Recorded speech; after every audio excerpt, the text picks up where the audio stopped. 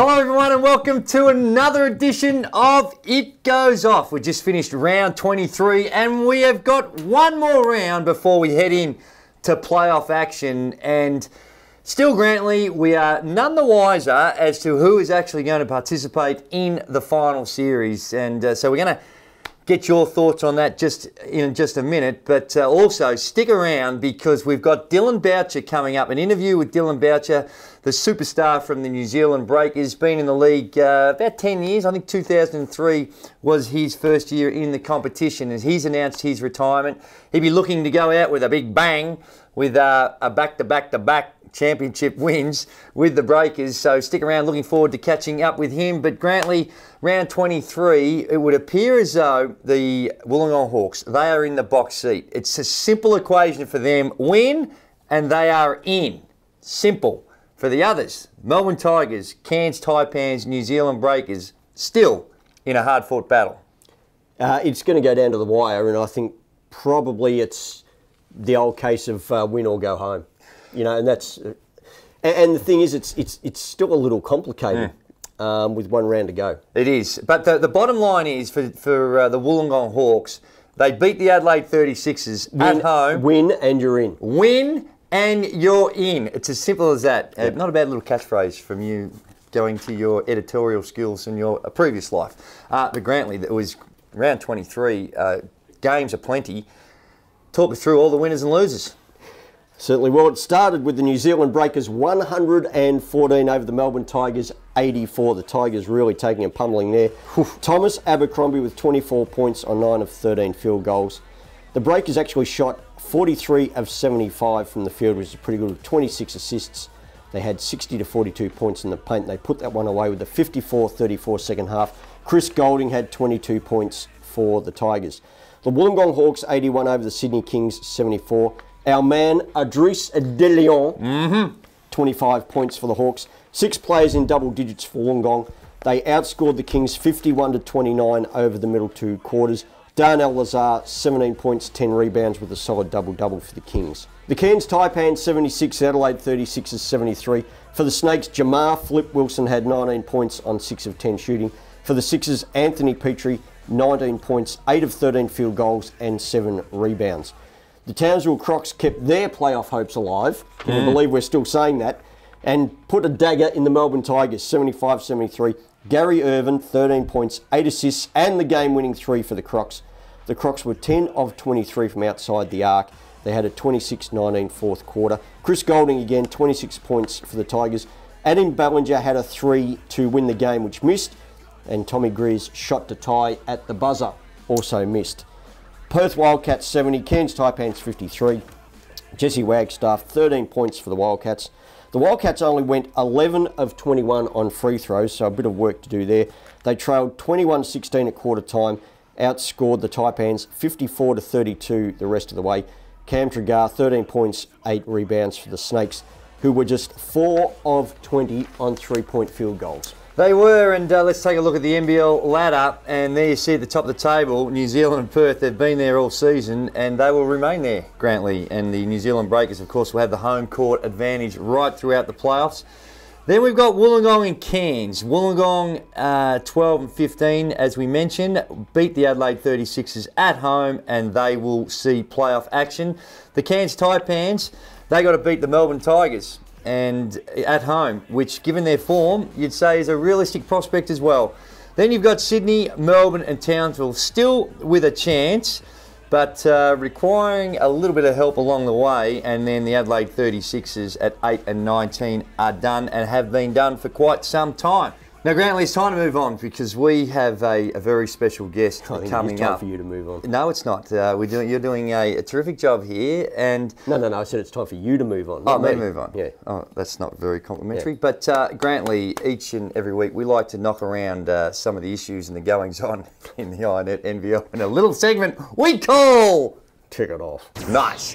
We're going to start it off this week with one of the all-time greats of the NBL. We mentioned in the intro, Dillon Boucher, hanging up the the uh, playing boots at the end of this season, and uh, he has been a fantastic contributor to the NBL.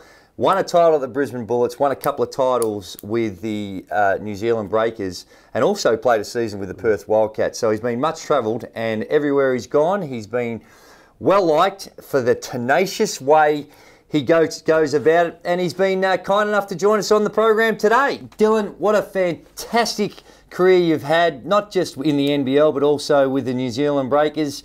Uh, how's it been? Has it been a tough decision to finally call it a day on your NBL career? Um, to be honest, um, first, g'day guys, and, and, good to be on your show. But uh, it hasn't it hasn't been a hard decision. Has, for the last few years, I've been contemplating it, and um, my body's really told me this year that, that it needs to needs to start having a bit more of a rest than what it has in between games. So for me, it's been um, the preseason was where it hit home to me when I was really struggling in the preseason, getting the body back where it needed to be. And for me, it was you know I'm going to miss a lot of the things about basketball, but um, right now i have made a decision and, and, I'm very happy with it. Andre Lemanis does a great job with uh, nursing you guys through. As uh, has he had to tailor the uh, training regime for you this season, uh, like it appears he's done over the last couple of seasons with CJ Bruton?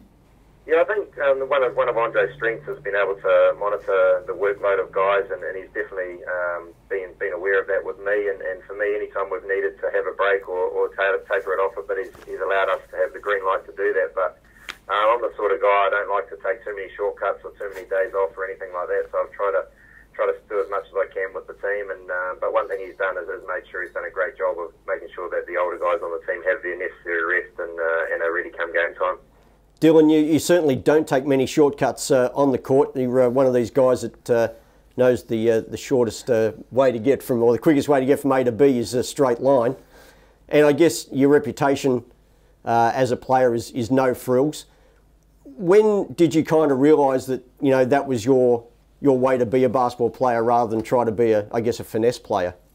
Yeah, it's a good question. Obviously, growing up, um, you know, I used to be a scorer, and, and like, you know, you, I guess you don't get to this level being, being able to do something. So when I was younger, I, I didn't realise I wasn't as athletic as anyone and wasn't as good as everyone is at the other things until I got probably to the to the higher level, and it wasn't probably till uh, till I got um, into the National League in New Zealand where I realised that you know if I wanted to stay at, at the top level, that I needed to be able to do things that other people couldn't do. So I started focusing on areas of the game that that people, I guess, don't see as important as other areas, but are so important to winning a basketball game. And you know, that's where I started being able to use my, my I guess, my knowledge of the game to be able to shoot passing lanes and get steals and things like that, and and make passes and, and throw lead passes to guys running onto the ball and, and putting the ball in a position where shooters could get their shot off quicker and things like that. And I just started, I guess, focusing on those areas rather than rather than scoring and things like that. And then I found that there was a little niche for each each team I was in for a player like that, and I guess the rest is history, and that's how I guess I've ended up playing the way I do. Uh, Dillon, I guess uh, you know we're on the verge of the playoffs, and everyone's talking uh, about New Zealand and Perth as the the two big teams. You play each other uh, this weekend.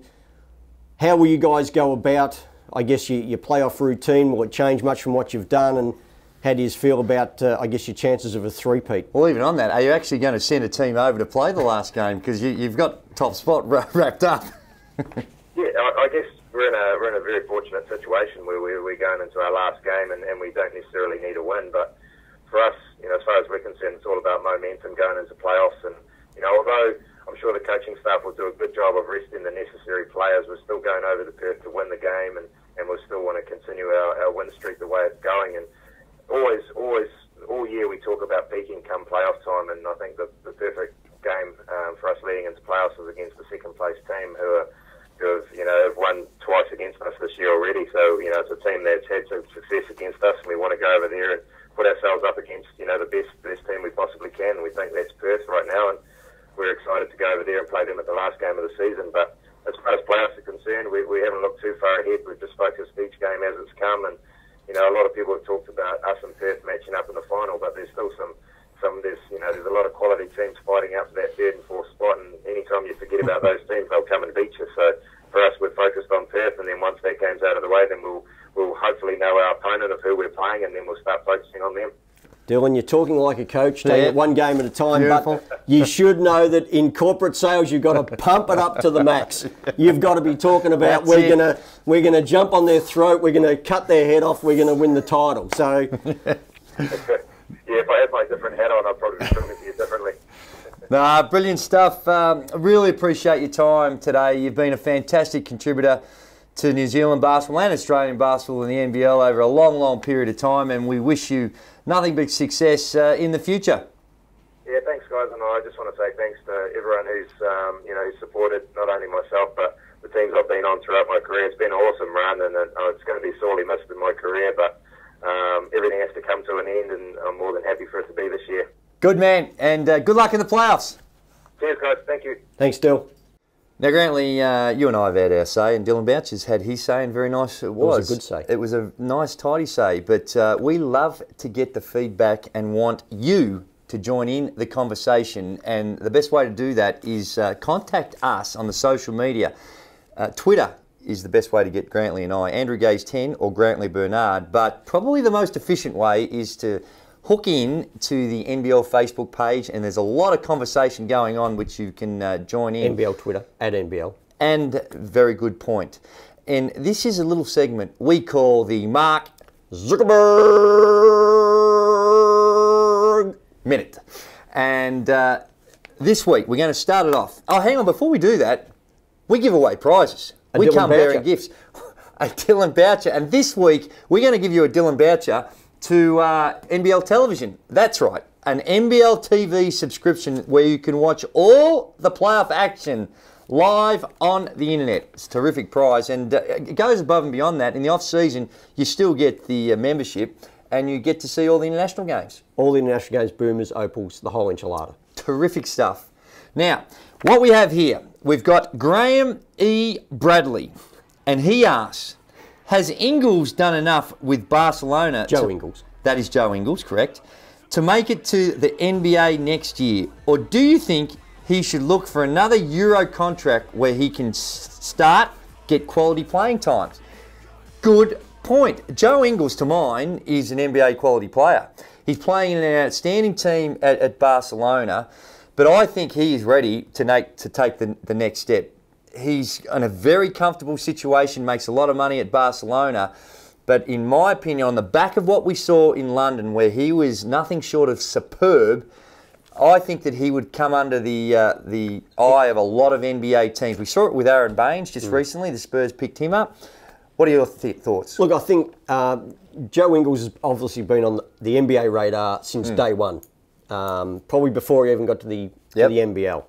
So he's known, he's played Summer League with the Golden State Warriors. Yep. Um, they've had a good hard look at him. I think he's probably now 25. Yep. So he's not young anymore. in- Well, in- in- still young. But he's not a kid. No. He's not a kid anymore. He's matured. He's a mature adult. Experienced. Right? The body is filled out. He's got a lot of Strong. experience. He's actually been starting for Barcelona. He's been playing good minutes. Hmm. And I think, put it this way, there's not too many better jobs Hmm. than playing or, and living in Barcelona. No. I would think it's probably a mutual thing. I think Barcelona likes Joe Ingles. Joe Ingles likes Barcelona. So that may get extended. But I think the NBA opportunity is, is probably going to happen. But it's the old thing hmm. right place, right time. Yep. You've got to be in the right place at the right time to make the NBA. Doesn't matter how good you are. Yep.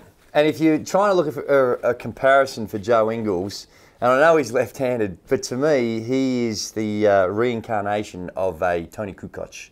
That inside-outside can play the two, the three spot, can handle the ball. Just uh, he's got it all, and uh, I'm hoping that he gets that opportunity because he's good enough, and it'd be great to see another Aussie in the NBA. Having said that, Barcelona, terrific situation. Uh, next up, we have Perkins Santos. Perkins Santos, g'day Perk. Is Cameron Gliddon the next Ben Madgen, Grantley Bernard? Is he? He could be. He could be. Well, I think there's a good I, comparison. I think there's. I think he's got the potential to do that. His, his last probably quarter of the season Hmm. has, has really been a breakout time for him, and I think he's he's really going to be one to watch next season. it is, and uh, I think also uh, when you look at Ben Madgen, first year or so took him a little while to really crank it up, and now he's an MVP candidate, uh, leading scorer in the competition, and it's just been the mainstay for the uh, Sydney Kings. So it, it's a, it, when you think of that pathway and some of the players that are coming back uh, from college, it does take them a little time to find their feet in the NBL. Oh, for sure. It's not an easy transition. No. Um, you can't underestimate it. So if, if Cam Gliddon's to become the next Ben Madgen, Would that make him a Ken Glidden? That is just side splitting stuff by you. Uh, lastly, I've got this one from Nick Godsell, a regular. Nick, g'day, Nick. And he, he asks, apart from a certain St Mary's guard, Matthew Dellavedova, what is your mail on which Aussie soon to be college graduates might be hot commodities for the NBL next season? Uh, there's a few out there, but the two that I think could be real game changers for teams Ryan Brockhoff is a very, very good player, played at Valparaiso, and in fact, last week saw him hit the game winner in a tournament um, play. So he's been there at Valparaiso for four years. I think grew up in, played with Frankston here in Victoria, AIS graduate. He's uh, one that I think could have an immediate impact. And the other one is Brock Motum, played at uh, Washington, uh, Washington State, I think it is. And um, big guy, 6'10, Queensland kid, left hand up. Both of those guys you would expect are going to have opportunities in Europe as well as Australia. But uh, he's hoping, along with Matthew Dellavedova, that um, that they do come back and play in the NBL. Uh, do, do, you know of any others, Grantley? Uh, not off the top of the head. I mean, the, the, the, one kid I'm kind of interested to see if he does come back to the NBL eventually is Anthony Drmic. Yes, I, I think he's. I guess just at Boise, and congratulations yep. to Boise. They've just made it to yep. the NCAA tournament. Uh, the the brother of Frank. of Frank Drmic, who was a boomer. And I guess that's where the interest is that Frank Drmic was such a, a great young player and, mm. and, and so much was expected of him. But the talk is that the brother. He's a couple of years away. He's, he's, he's even better, mm. or going to be even better. Yeah. He, sorry, could be even better. Yes. Uh, there's a few in the system that are a couple of years away, but um, yeah, looking for those ones that, that are available right now. Uh, Grantley, you have the very, very tough task of uh, picking a winner. And who are you going to go with? Uh, that's a very good question. I actually did like the uh, second question uh, that we had. That's uh, Perkins. Perkins Santos asking about uh, Ken Gliggen. Well, there you go, Perk. You're happy days because you are going to be watching, hopefully going to visit and see the NBL finals. But if not, you've got it covered on the internet with uh, NBL TV. And for those of you who haven't subscribed, some really good um, packages offers to see the NBL finals. You, you, can actually get the NBL TV finals pass. Yes. Which is available now. Go online at nbl.com.au. Get on board. NBL yeah. finals pass. Uh, you can sign up for that. You can get the whole, as we said, off season with the Boomers and the Opals. Take you right through to uh, to next season. Grantley, uh, this is the ultimate round, the last round of the 2012/13 iiNet NBL season. Last chance for the good folk, for many of the good folk, to go out there and see their team. So please inform them where they need to go to see some high quality basketball action. Okay. Friday night, it all starts with the Sydney Kings against the Townsville Crocodiles. That is a big time playoff game. That is on 1 at 9.30. Another big playoff game is the Cairns Taipans against the Melbourne Tigers. And rounding out the Friday night action, the Perth Wildcats against the New Zealand Breakers. The top two go head to head. On Saturday, we've got the Wollongong Hawks against the Adelaide 36ers. The Hawks win that, win, and they are in. And on Sunday, to round out the regular season, the Melbourne Tigers against the Townsville Crocodiles. That one is to be shown nationally on 10 at 1 o'clock. Well, we, at the end of the day, we won't know who's actually going to be in until uh, Sunday afternoon. So, an exciting time uh, out there and a nervous time, I'd imagine, for a lot of coaches and players. And good luck to them all. Grantley, what a show, a long show, but it, it's necessary um, because it's a very exciting time and we need to pay homage to uh, Dillon Boucher, but we also need to say thanks to those that support this great game and this wonderful, wonderful program. And it all starts with our naming rights sponsor, iiNet. Connect better. 10. And one. Sporting. And far. And Virgin Australia. They have been with us the whole season, and we're hoping that they're going to be with us again for many, many years to come because they are wonderful partners of this great game of ours.